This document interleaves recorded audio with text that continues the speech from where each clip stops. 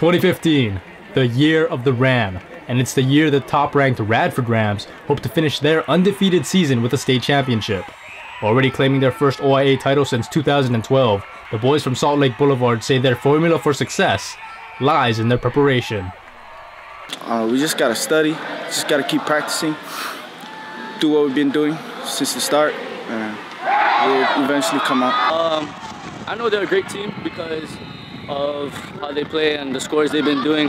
So just take it week by day by day. Pre preparation, just keep preparing, practice, practice. You know, we're gonna we're gonna go back to the drawing board and get ready for uh, our, our, opponent. I believe is Kapa'a, and um, you know we know that they haven't given up an offensive touchdown all year long. So we got to get ready for that, and we got to make sure that we play our A game. Offensively, look for quarterback Quinton Iriarte to be airing the ball out under center. The senior is fourth in Division Two, throwing for over 1,200 yards and accounting for 24 touchdowns this season. And after scoring four times during the semifinals against the Wildcats, you can expect the Rams to be leaning on him when they take on Kapa'a. Uh, it all starts with the quarterback, in my opinion. Um, you know, the O-line has been doing a steady job all year long, and um, the quarterback was able to make some key throws tonight, and, and that, that was really big for us. And it makes it a lot easier for a quarterback to look good when he's surrounded by playmakers. Taking handoffs for the Rams is running back Ace Faumui. The senior is second in the state in rushing and leads Division II with 1,284 yards coming into this title game.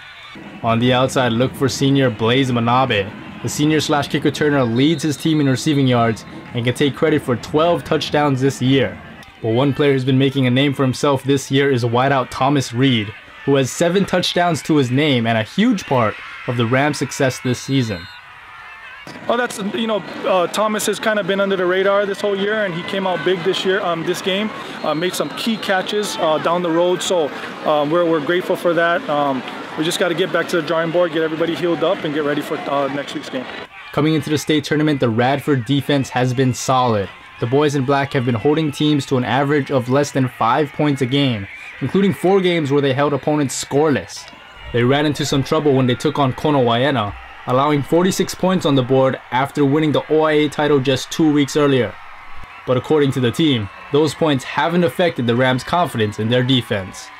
Uh, you know, our defense has always played played tough uh, for us this year. Um, I know they struggled in the beginning a little bit, and, but um, you know, we came through. Our offense did the job tonight. We scored. I always tell our players, um, you know, defense wins championships, and all we got to do is score one more point than the opponent, and we win the game. And that scoreboard doesn't reflect how good they play. They always bring it.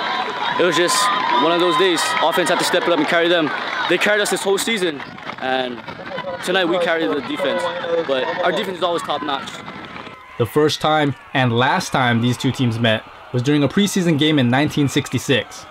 Radford dominated and took that game 42-0. The Rams are hoping for a similar game this week to take home their first state title in school history. Um, we're just going to continue to do what we do every week. Um, we, we take every week as a, as a new game. Um, you know, we never look forward to, uh, you know, past our opponent. We always respect our opponents, and, and so we're going to watch film diligently and and um, we're going to come up with a scheme offensively, defensively, and on special teams, and and try to uh, make the best out of it and go out and represent the state of uh, the island of Oahu to the best of our ability.